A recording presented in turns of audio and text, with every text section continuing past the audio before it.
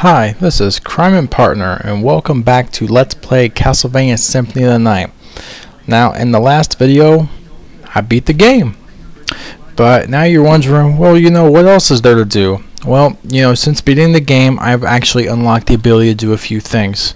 Um, and I'm going to go ahead and show them to you. So without any further ado, let's hit the first spot. Okay, we are at our first stop. Um, this is the area where the Paranthropus was over in the inverted castle, the outer wall, as you can see on the map. Now, I've mentioned Ring of Varda this and that throughout a ton of little videos here and there, and you know, until now I could never get them. Now, I've already gotten a few rings, so I just wanted to show you just to give you an idea how sick this thing is. Okay, I mean, you can see my stats you can see I have an attack of what, 108 and a defense of 57 and that's with the best equipment okay? So when I look at the Ring of Varda I'll look at that description and I'll look at the stats just shooting up on the right. So anyway that's just one. So I go from 108 attack and 57 to 140 to 60 and 67 how about if we put two on Look at that. So my attack went from 108 to 172, and I gained what? Uh, 20 defense as well. I mean that's a huge, huge, huge jump. And so I mean with that, I mean that's that's 80 more damage a hit. And again, you know this weapon hits four times or so every time you hit the attack button. Sick, man. Okay.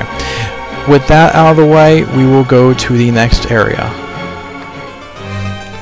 Okay, so we're back in front of the long library, right in front of the, the master librarian, and you also notice I have my sword familiar equipped.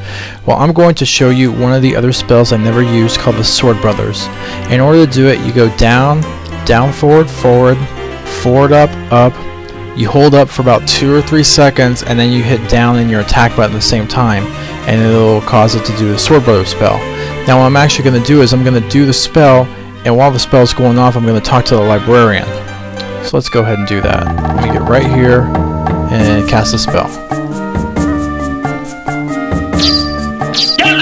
going to go ahead and talk to the librarian. And while I'm doing that, I can actually... Well, let's see, I have, what, four diamonds? I'm going to sell three of them. Thank you. Put one here, and I can actually go into my menu. You cannot normally do this. Now what I'm going to do is I'm going to go and I'm going to equip that one diamond I have. Now I'm going to sell the one diamond. Thank you. But somehow it still says I have the diamond equipped and if you notice, now all of a sudden the number of diamonds I have is 255. So we'll, we'll de-equip it. And if we leave the screen and go back to sell, it says the number is E5 for 255 in hex format. So I've got, what, here, here's 50 diamonds I'm going to sell. Bam, I'm at max money. Uh, doing that, I can actually, I can buy anything he's got. Um, in particular, I want to show you the item he got that you can now buy because we beat the game. The duplicator. I'm going to buy one of those. Farewell for now. Now this was also the item I mentioned that lowers your stats to use to level up the Muramasa and the Octopus Room. But if we equip the duplicator, well look at it, duplicates use items. What that means is every one of those like expendable weapons like the bombs, the ninja stars, uh, you can use it with food and make it unlimited, uh, you know, eat the food unlimited amount of times. If you use it with the meal ticket, you can keep making food over and over to pick up. I mean, it, the sky's the limit. You could be a ninja throwing ninja stars. You could be some crazy dynamite man. You know, whatever you want. Anyway, while I'm at it, I'm going to go ahead and show you the Power of Sire, the one I said there was only three in the game. And when you use it, I can now use it a limited amount of times. Over and over and over. So using this setup, you could actually just run through the game and just spam these things. You may also notice it's, it's got a picture uh, while it's going on. That's actually uh, a picture of the historical Vlad uh, Tepes. I think if you actually look online, you can find a work of art that kind of looks like that. Anyway, with that out of the way, we will go to our next secret. Okay, so you'll see I'm back at the file select screen, and if I go to file select, as you notice, here's the save that now says clear, but you also see it says input Richter, the player's Richter Belmont. So if we choose a new game and we punch in, uh, what is it, R-I-C-H-T-E-R and use that as our name.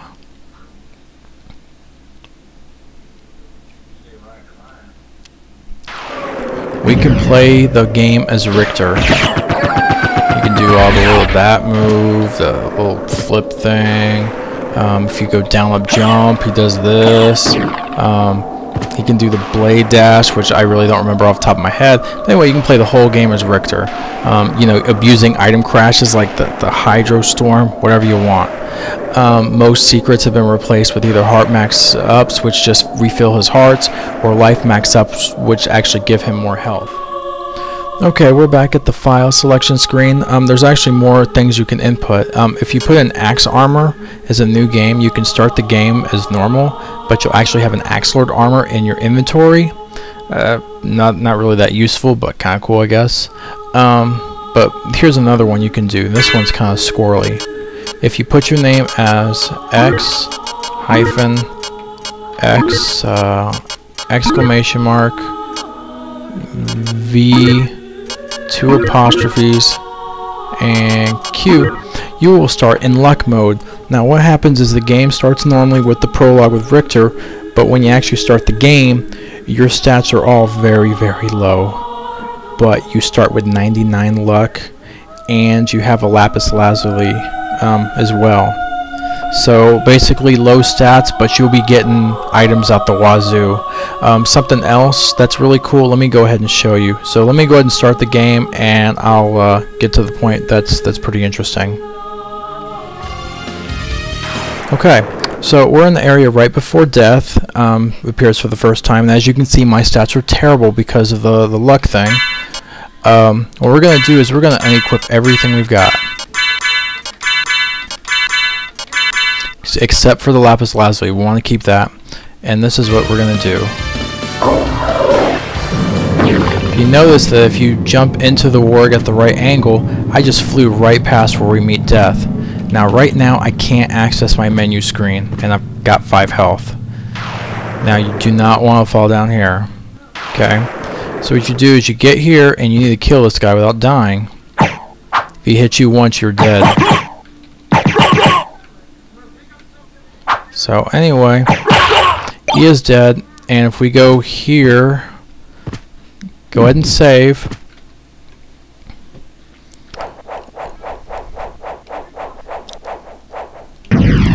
Now after we've saved, I have access to my inventory, and lo and behold, I have access to all of the equipment still.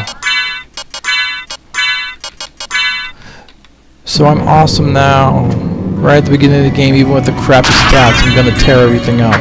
Um, something you don't want to do, though, do not go back to where death was. Not yet, at least. If you do, you're going to trigger the scene, and you're going to lose all your equipment anyway. What you want to do is you want to go into the, the alchemy laboratory, actually enter it. So once you enter it and you, you go back, you will trigger the, uh, the bloody zombies. As shown. Okay, now with the bloody zombies there, you're going to be good to go. Now, but it's going to be a little different. Okay, if we go down here, and we jump down, now we have Slogra and Gaibon there. Now all you gotta do is just do enough damage and they'll fly off. And that's basically what happens instead of death. From here on, you are good to go with a, a great set of gear in your uh, in your luck mode. Anyway, that concludes all of the things I wanted to show you um, in this little uh, last video for the Let's Play. Um, as a final thing, I'm going to go ahead and play uh, as much as I can of the credits. So, this is Crime and Partner. Thank you for watching my first Let's Play series. I had a I had a great time doing it. Hope you had a great time watching it. Um, I hope to be doing another one of these in the future sometime once I figure out what I uh, want to do. Anyway, uh, again, thanks for watching. See you next crime.